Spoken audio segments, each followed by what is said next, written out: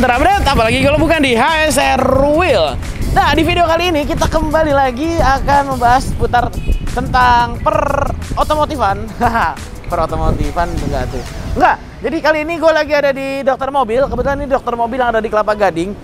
Eh, kita pengen cobain tune up karena gue ngerasa ini mobil si Obri ini kemarin ini udah mulai borosnya mulai nggak wajar nih borosnya mulai nggak wajar terus tenaganya udah mulai agak-agak uh, kendor gitu kan. Gue mikir kayaknya dalaman-dalaman mesinnya perlu kita beresin nih. Akhirnya gue putusin gue akan tune up di dokter mobil gitu kan. Full tune up di dokter mobil dan tune up itu apa aja bagian-bagian apa aja yang perlu dibersihin nanti kita akan tanya langsung sama Kolung Lung biar nggak salah-salah. Oke langsung aja ikutin gue boy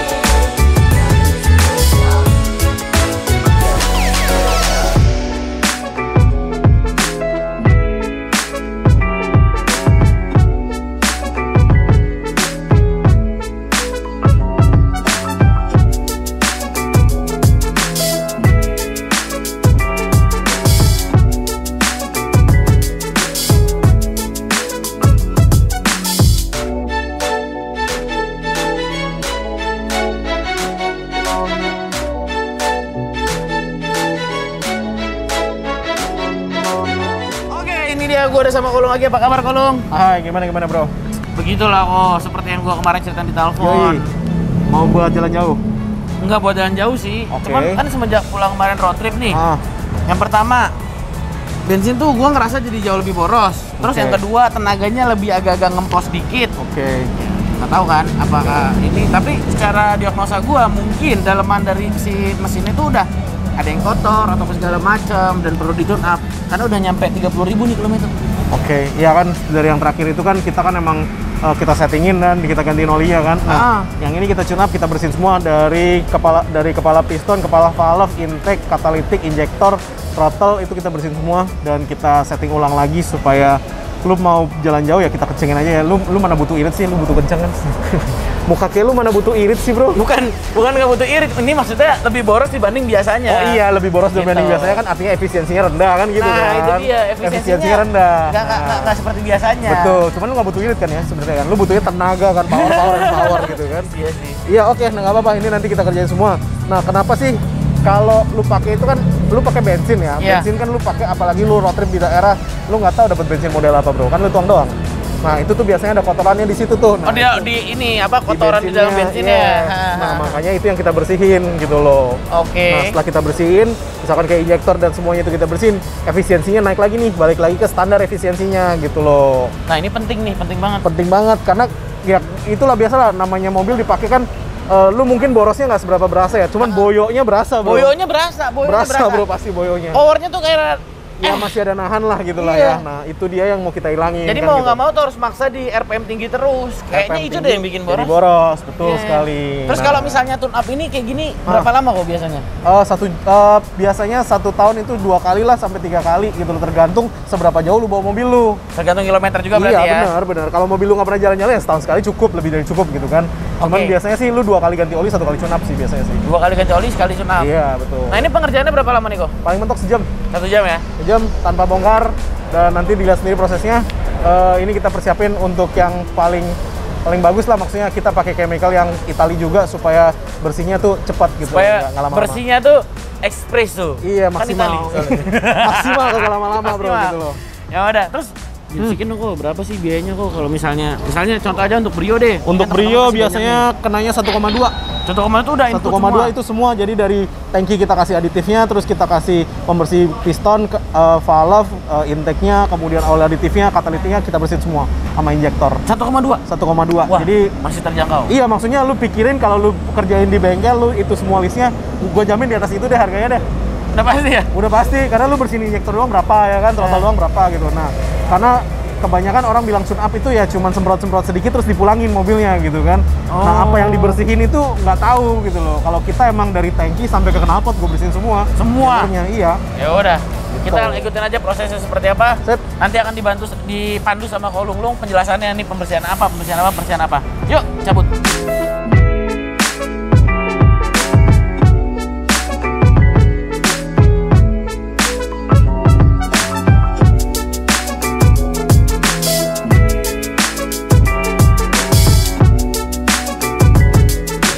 Nah, buat olinya kita pakai 9 circle. Waduh. 0W20.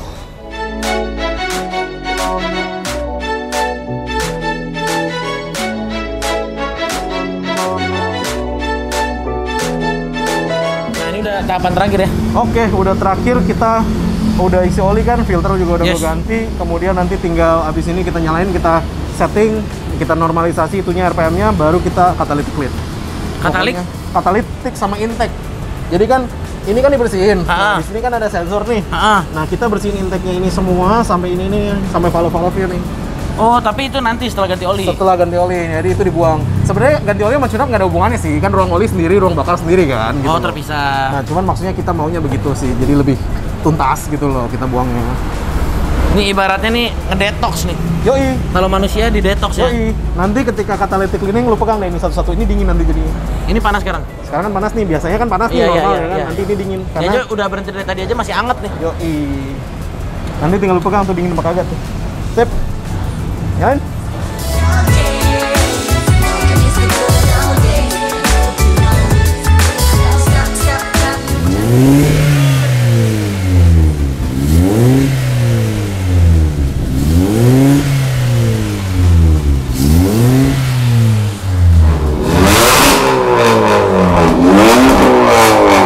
Ini habis proses pembersihan katalis.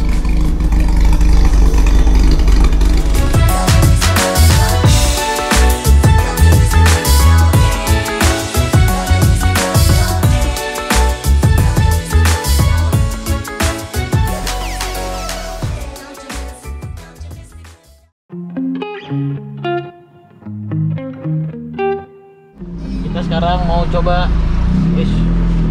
Iya, seat belt bro. Iya. Ah. Nah, harus kasih contoh yang baik. Nggak baik, tapi komen netizen. tapi gua setuju sih kalau seat belt sih. Iyalah, seatbelt itu paling penting.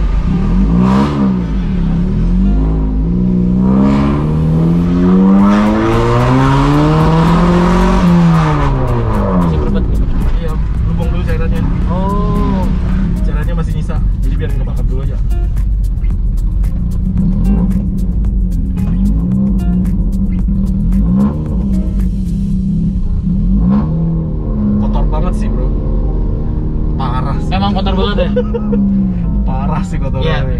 Gue sebelumnya mana pernah sih kok gue sampai komplain sama lo kok kenapa ya kok kayaknya kotor apa segala macam karena emang gue ngerasa ini Boyo. mobil udah boyo banget nggak seperti nggak seperti ini gitu kan Iya, iya. Ngerti sih, ngerti sih. Emang kotor banget sih, parah sih tadi. Kelihatan waktu di katalitik juga sampai keluar cairan bro. dia bilang. Sampai dari knalpot iya tadi sampai keluar cairan itu eh, tandanya nggak bagus ya kok Eh, itu kan tandanya berarti dia kena kan seharusnya kering nih Hmm. karena kan dia eh, memang didesain untuk manasin gitu nah Ah. sampai dia keluar itu berarti kan dia kelampi gitu maksudnya kotorannya ini berarti dia kayak dari keringnya itu karena dikit dikit dikit dikit dia kekumpul jadi banyak makanya dia mau nggak mau kelampi gitu loh jatuhnya keluar gitu Oh. kelampi itu apa ya jadi kayak gede-gede lah gitu loh kotorannya iya iya iya. Biasanya apa kok penyebab mobil sampai sekotor ini tuh apa? Eh, pemakaian bro wajar lah maksudnya lu pakai kan lu masukin bensin apa segala macam bensinnya kalau lu dapat bensin jelek lu nggak tahu ya kan? Dan nggak akan ada yang tahu sih. Nggak tahu nggak tahu lu dapat bensin bagus jeleknya kan lu nggak tahu emang gitu. Itu itu penyakit utama sih bro. Berarti sumber pertama itu dari bensin? Bensin. Ini lu pikir aja tarikannya lumayan dapat sumber pertama kalau untuk tune up di Indonesia musuhnya itu bensin tetap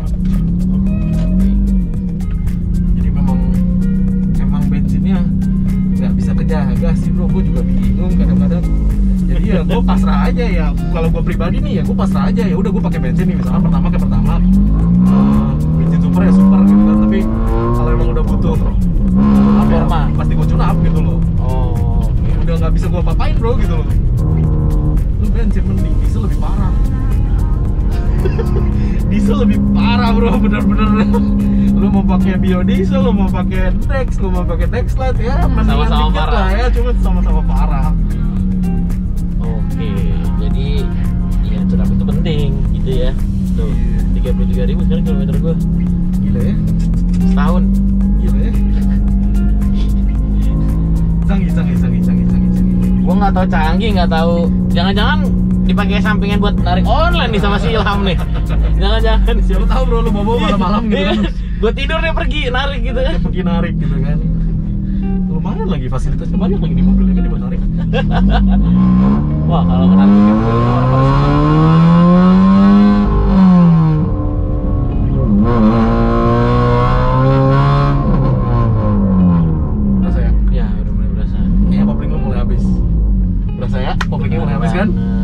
tadi juga berasa gigi satu begitu lu lepas kopling dia masih nyangkut itu. Bener banget. Kayaknya kopling lu mau habis tuh. Betul. Ya mobil buat salom lah ya. Buat salom iseng-iseng.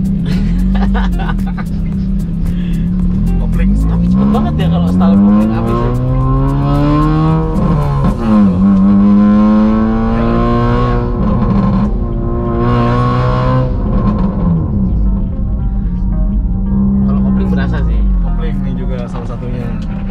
Kopling itu pengaruh ketarikan sih bro jadinya bro begitu Iya. udah ngegrip dia jalan sih udah mau habis sih Cuman pas bukan awal doang. Iya.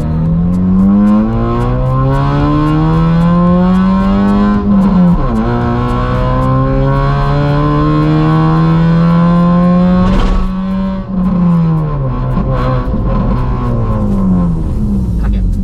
Nah, Balik lebih kan? Udah balik kan? Udah, udah kembali. Yang di toilet dikit aja udah mau. Iya. Ini tadi polisi tidurnya speed bumpnya segede ini nih. Iya bro. Anjay. Coilover lu mah cakep. Velgnya keren. Oh iya velgnya. Velgnya kuat. Kalau velg kuat iya bener loh. Kalau itu lu hajar velg 22 tipis. Alah alah alah gua bilang kelar itu udah. Jadi kemarin gue punya kejadian lucu gue. Nah. Gue nabrak lubang, Nah. velg itu bener-bener lubangnya gede banget, duk sampai bunyi. Serius. Yang rusak spion gue. Oh iya yang di story lu ya? Iya.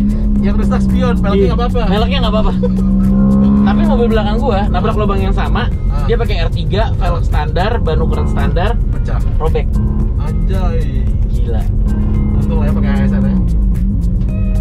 Nggak gitu sih maksudnya sih, tapi kalau lu nangkepnya gitu ya nggak Tapi apa-apa deh. emang gitu maksudnya balik lagi ada ada harga ada barang gitu kan ASN Iya, ini kalau betul. menurut gua kelas yang harganya sama barangnya tuh lu dapat sepadan gitu loh nggak overprice nggak underprice gitu loh Benar.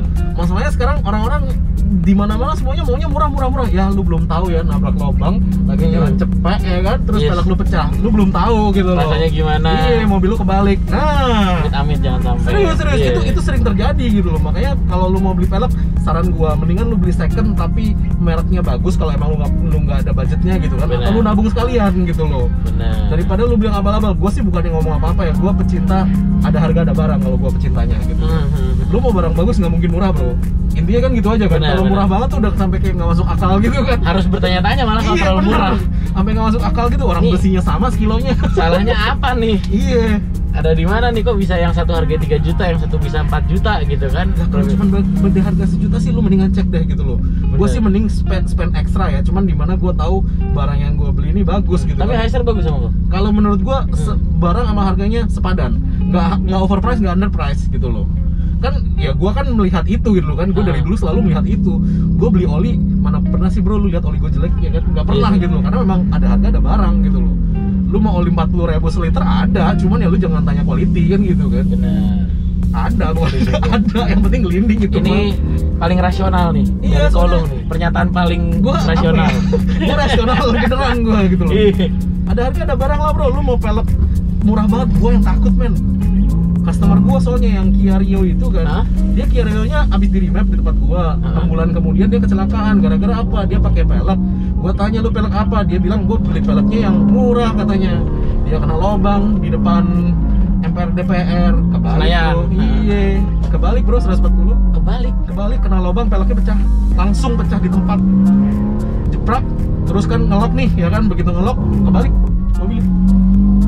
Habis kebalik bukannya kapok dan dia tau nggak pak styrofoam dan begitu kelas begitu kelas showroom minta remap lagi di gua Naik kelas dong. iya dia Ya, bilang tapi tapi tapi jangan nunggu kebalik dulu baru ganti mobil. Iya iya makanya, Hmm. cuman ya enggak maksud gua itu kan pelajaran Jadi yang pelajaran, benar, gitu loh. benar, benar, benar, lu benar. jangan main-main soal pelek gitu loh. Pelek tuh lu kalau udah mau main pelek lu cari yang bener deh.